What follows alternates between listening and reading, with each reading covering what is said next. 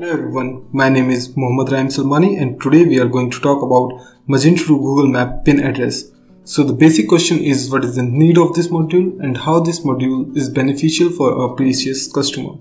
So by using this module, the merchants can enable Google Maps for the front end customers for inserting the address. The customers can use the Google Map for inserting the address and the customers just need to pinpoint the accurate delivery address on the Google Map and the address will get inserted automatically.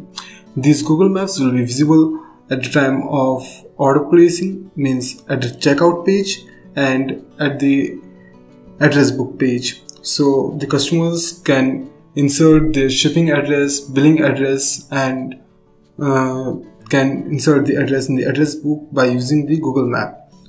So let's talk about the admin configuration first.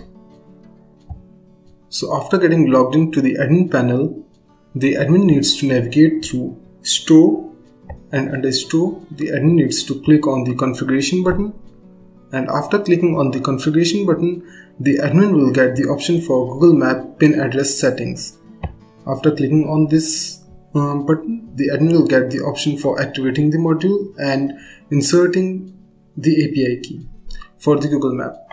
See how to get the API key is another video so you can watch that video and to know how to get the API key for this extension.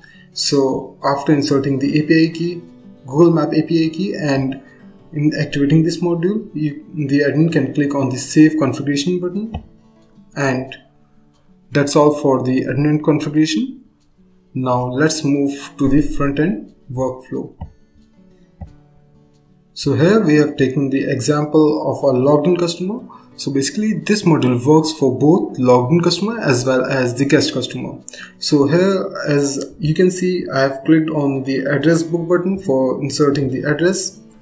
So let's see what happens if I move this pointer of the Google map towards over here for inserting the address. As you can see the address is changed and is inserted automatically. But for the personal details like mobile number, you need to insert it by yourself. And you can, after inserting the address, you can click on the save button to save the address. So let's take an example of a guest customer also. So as you can see, here I have taken the example of the guest customer. I'm not logged in and I have a product on my cart so let's proceed to the checkout and let's see what happened. So as you can see I've just moved the pointer from here to here. The address is inserted automatically and I have filled the personal details. Now let's click on the next button. Uh, but before that let's click on the shipping met let's select the shipping method and click on the next button. Here you can see I have the payment methods. So it will increase the efficiency of the customers of placing the order means the customer will not take lots of time for placing the order. The customer just needs to pinpoint the accurate delivery address and the address will get inserted automatically.